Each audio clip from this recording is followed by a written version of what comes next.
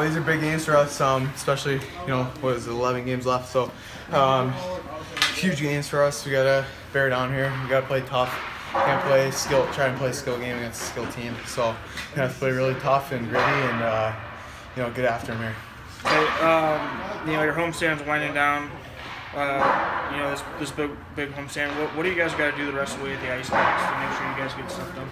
Um, you know we gotta take advantage of our time here. Um, you know these these fans and this place is awesome to play at. So um, you know we gotta take advantage of it and you know kind of let teams come into our building and, and uh, dictate the game. So we're gonna have to take advantage of it here for sure. Okay, how do you how do you make sure teams don't come in here and, and take advantage of you guys in the ice box? Well, just gotta play a tough game. Uh, I mean, it really comes down to that. You know, we uh, gotta get this place going, especially playing physical, playing hard.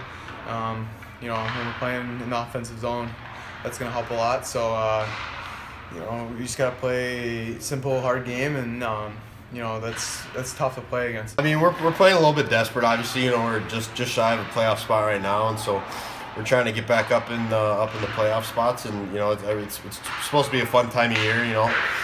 So we're all we're all just trying to make the best of it, and every, uh, all day at practice, uh, we've been energized and we've been buzzing, and so I think that uh, it'll translate over this weekend. Okay, you know, outside of practice, is this kind of time for some you know, schedule watching to see who's doing what and what you guys are doing too?